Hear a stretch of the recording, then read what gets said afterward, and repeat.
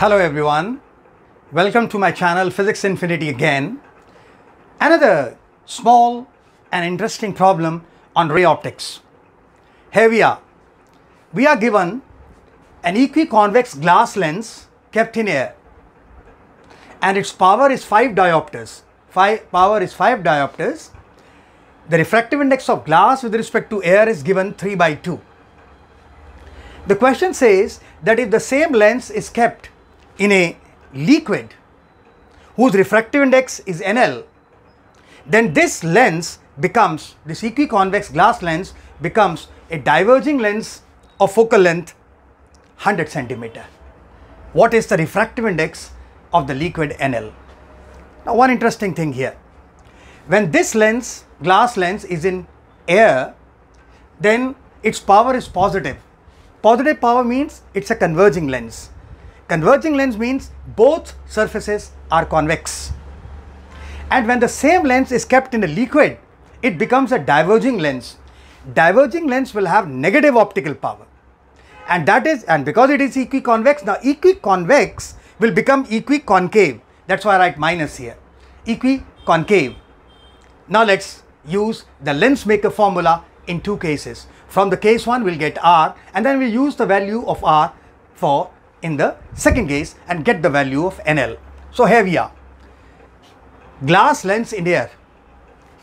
Power is 5 diopters. That means 1 by f is 5 meter minus 1. Diopter is 1 meter minus 1. So our focal length is 1 by 5 meter and that is 20 centimeter. So equiconvex lens of glass length focal length 20 centimeter in air. Lens maker formula glass lens in air. Now 1 by f. Now 1 by f is ng dif difference Na upon Na into 1 by r plus 1 by r or 1 by 20 is difference of 3 by 2 and 1 upon 1 2 by r that gives you r also as 20 centimeter. So both the surfaces have radii 20 centimeter. In air both are plus, both are convex surfaces. Now same lens is kept in liquid of refractive index NL. It becomes a diverging, diverging lens negative power, negative focal length. So LMF, again lens maker formula. So 1 by F is Ng difference NL upon NL into 1 by R plus 1 by R. But mark you one thing here. Because it has now become a diverging lens, both surfaces have become concave in the liquid. That means NL should be more than Ng. NL should be more than Ng. So when I take the difference, because ultimately in the eh, when I work it out the numerical, I'll have to take what is higher, what is lower. So I put the values. So 1 upon minus 100 is NL minus NG upon the medium that is NL into 2 by R. Of course, I place R now as minus 20, minus 20. I solve, I get NL equal to 5 by 3.